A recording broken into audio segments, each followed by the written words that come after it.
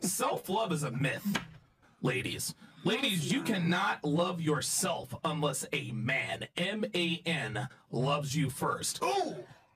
Let me repeat that. Ah. You cannot love yourself unless a man loves you first. Why do you think they coined the phrase daddy issues?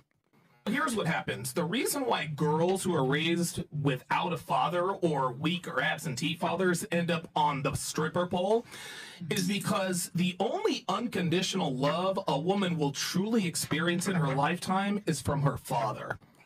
Okay? And mm, when a little girl knows that no matter what, no matter what, that man is going to do whatever it takes, come hell or high water, to make sure she's happy, she's not going to give herself away to drug dealers. She's not mm. going to give herself away to people who are broke ass niggas. This is exactly what I'm talking about. This is why we have the, we coined the phrase daddy issues. Thanks for watching and please subscribe to the channel.